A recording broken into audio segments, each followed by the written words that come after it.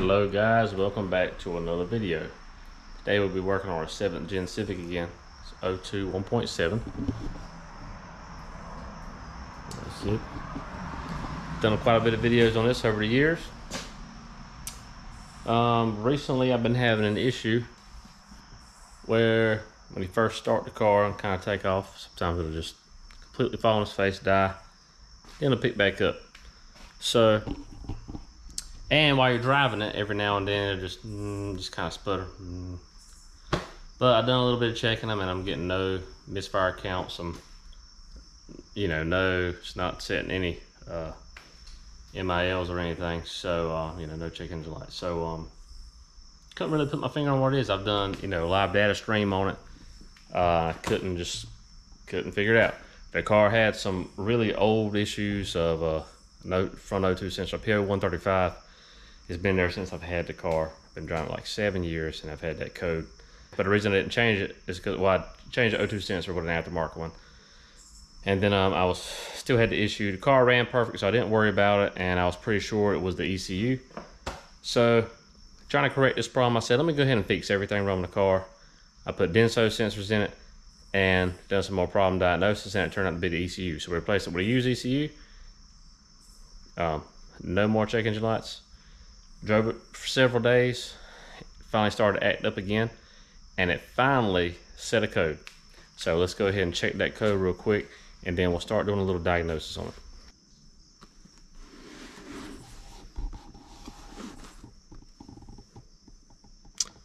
So we got a P0335 um, crank position sensor circuit malfunction. Okay no trouble code Okay, so that's what we got to go off of. So we're going to start with that. Okay, now this car has 328,000 miles on it. And of course with a factory crank position sensor. So I don't recommend going aftermarket on, you know, uh, critical parts like that. Because a failing, a lot of times a crank sensor can fail completely and then you're, you're stranded. So this one is dying and you know, it is an intermittent failure, like uh, a lot of electrical stuff is. Anyway, so we went ahead and picked up a Denso 196-2001 crankshaft sensor. That's what it looks like. Okay, now I don't, you know, just because you got a code doesn't mean that that's the problem. So I always like to do a little more um, you know, diagnosis to make sure before we just go throwing parts at something. But with this car having 328,000 miles on it, and that Denso sensor only being like 70 bucks, so I said, I'm gonna go ahead and change it. But we are going to do a little more further diagnosis just to make sure, even though I'm 98% sure that that's my problem, then it's acting like an intermittent, uh, like a sensor failure. It's getting worse and worse and worse and worse and more common. So everything timing related on the driver's side of this. We're going to jack it up, support on jack stands. We're going to pull the wheel off just to give some extra room and pull the fender liner. Well, if need be, we'll see when we get it off. And then we'll start tearing into it. Okay, so we've got the wheel off, got supported. So let's get a look at where we're going to be working at. So we're going to be, um, and this car didn't have any kind of liner here. So we got to be pulling this crank pulley off. It's going to be that single bolt. I think that's a 19. We have a tool that goes inside of this bigger hex cutout to hold uh, the crank pulley while we break that nut loose. Also, before we can do that, we've got two belts. The first one being this power steering belt. Okay, so there's two mounting bolts. There's one here, and there's one down here. Hopefully you can see. So you want to loosen those up, and then you'll use this wing nut here and that'll be able to move the power steering down and up so that you can loosen it up, the power steering pump down and up so you can loosen this up. Have to get the belt off and we might end up just getting this thing a little bit more out of the way depending. Uh, and the alternator belt, let's get from the bottom so you can see this alternator. So you can see that on the adjustment bracket, there's one bolt right there that um, holds the alternator and there's one on the top of the alternator that kind of where it hinges from so loosen both of those up and then there's a wing nut or a wing bolt on the front of that Same concept, you'll loosen that up in order to um, get the belt off of the alternator. So there's not really nothing to that. So I'm gonna pull these belts real quick. After that, we'll check back with you. And what we're gonna do is we're gonna be pulling the timing, well, so we're gonna be pulling the crank pulley.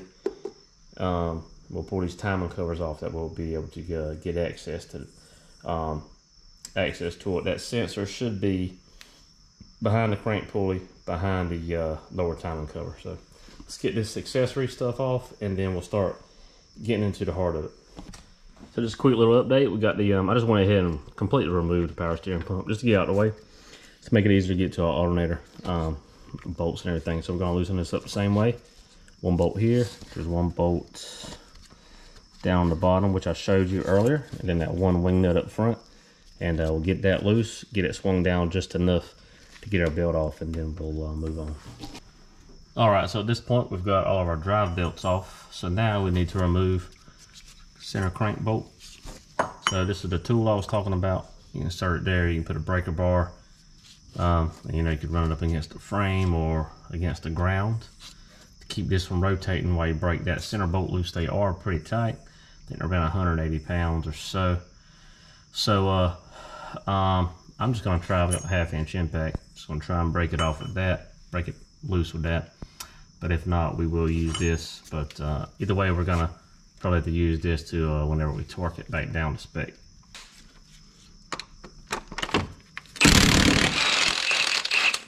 So 19 millimeter, no problem taking that out. So now we will remove this. Note there is a keyway in there that you want to make sure you don't lose.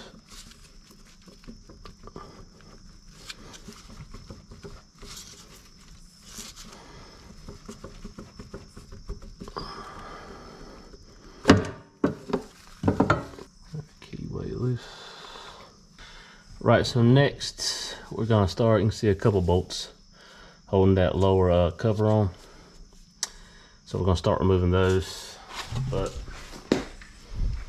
uh, looks like we'll probably have to pop this top one loose first. Let's go ahead and do that.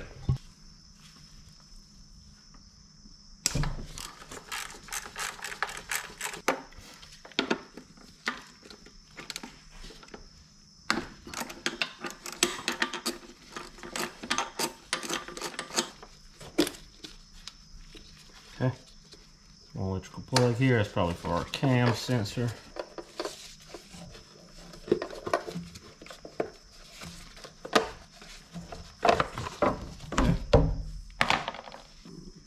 Just getting everything a little once over.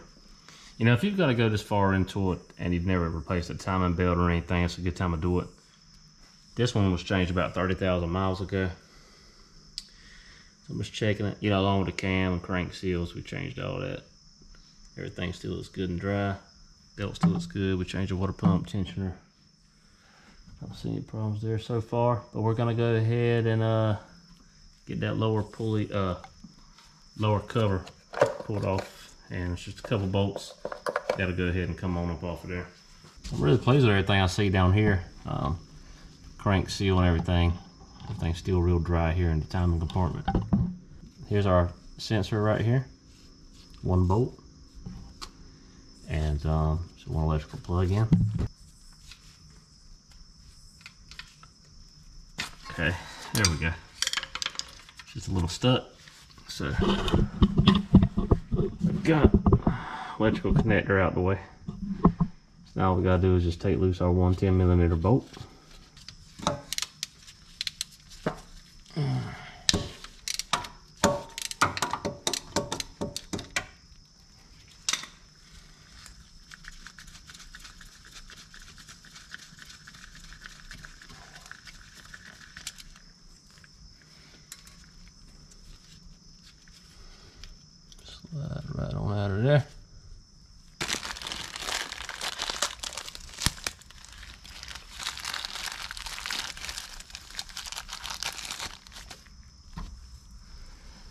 So it's got a new seal on it. So looks identical to me. So that's good. So let's go ahead.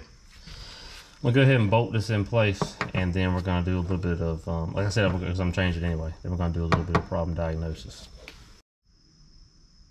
Okay, so as you can see, we have our uh, new sensor installed. So we're just gonna do a little bit of uh, just checking some wiring just to make sure everything is good there. And like I said, I'm really sure that it is, but we're just gonna check anyway. That way we can just talk over a little bit about, uh, you know, just some repair procedure on this particular issue. So first thing I want you to do, reset the ECU, start the engine. Um, yeah, I already done all that, blah, blah, blah. Measure voltage between the um, yellow black wire on the connector and body ground. All right, so the yellow black wire is, should be the one on the end. Yep, this one here on the end, okay? So I've got these are great for door wiring, for checking wiring. Just a little pin, probe. I place that right there. Voltage. Okay. So we need to check. We're checking for voltage between, and we've got our ignition on. Ignition switches on. So we're checking voltage from there to our uh, to our chassis ground.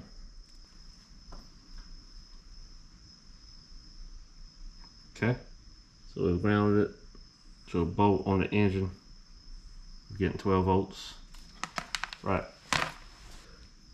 Measure voltage between yellow black wire and body ground. so battery voltage, yes. Go to step seven. If not, repair open in the wire between the main relay one and the um, crank sensor. So we're going to step seven. Measure voltage between uh, terminal one, which is going to be the blue wire and body ground. And it's wanting about 5 volts. So let's change this to the blue wire, which is to be the one on this side. And again, make sure you got your ignition switched on. Okay, so let's See if we get voltage there. So it's about five volts. So let's see. Yep, 505. Perfect.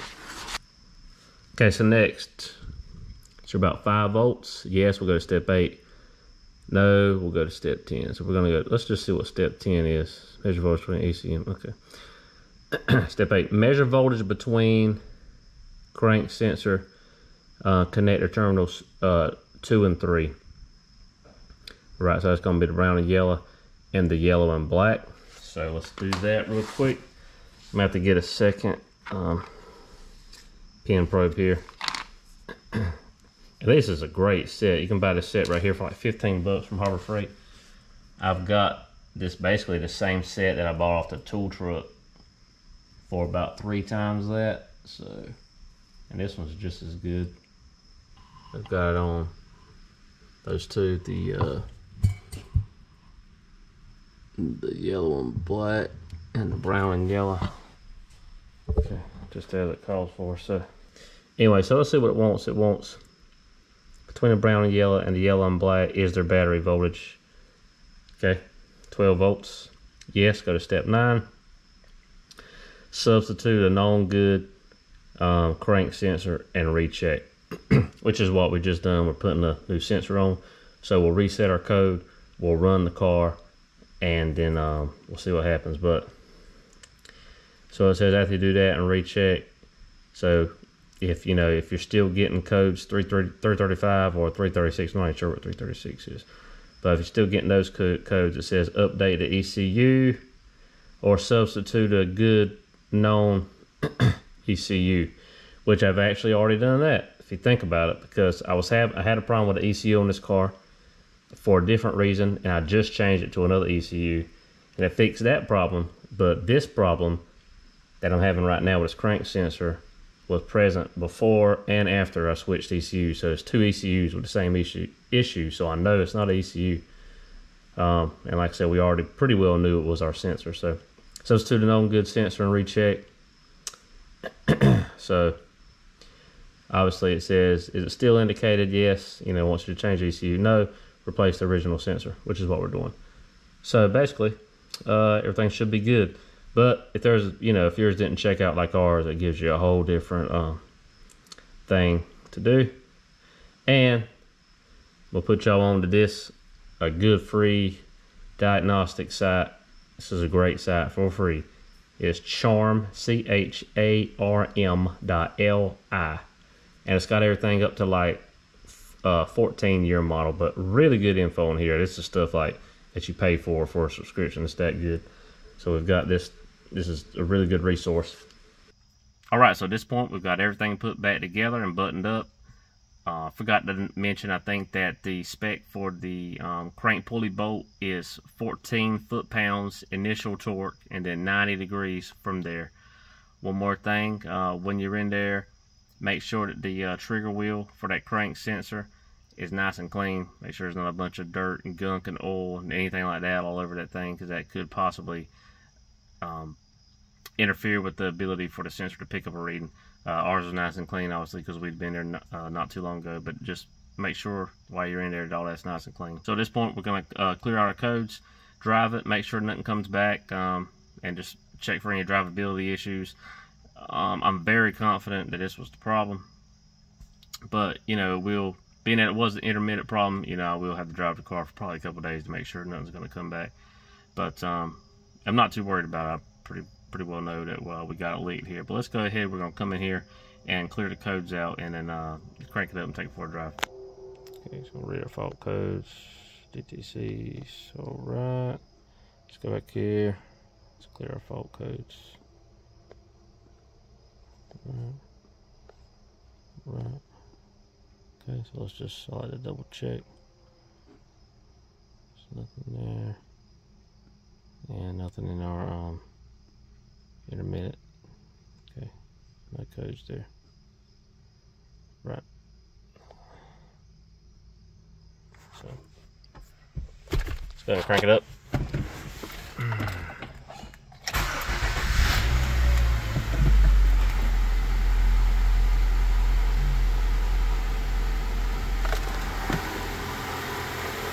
And let's just give everything a once over. Sure our belts and everything are riding through.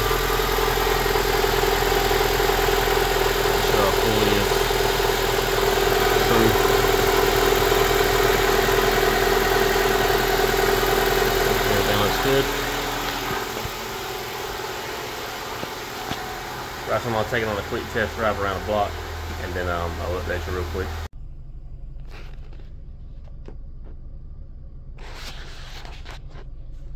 So, no uh, malfunction indicator lights. Drivability was great. It drives just, it really runs better than it has in a really long time. Even before the car got to such a significant issue with drivability and uh, cutting out, it was little small things. But um, anyway, all that's completely gone. It really drives better than it has in a long time. So, uh, really happy with that. You know, like I said, I spent 70 plus tax, no, maybe about 85, 80, 85 bucks on the sensor. You can get them as cheap as like $10, but like I said, I wouldn't, um, wouldn't risk it. I'd get a good one. That way you don't have to worry about it. But got it squared away. Uh, it probably took me between changing it out, filming this video, and, uh, you know, checking the wiring and stuff. You know, I might spent two hours on it. So pretty good. Not bad at all. It's a good, uh, good repair. And, uh, I hope this really helped you guys out. If you got any other questions uh, about this particular car, engine, problems, um, let me know, or spe specifically anything relating to this issue, this issue, uh, be glad to um, help you out uh, with it. If you just um, contact me, let me know, and uh, anything you want to add to it, let me know. Appreciate you for watching, we'll see you on the next one. Thanks.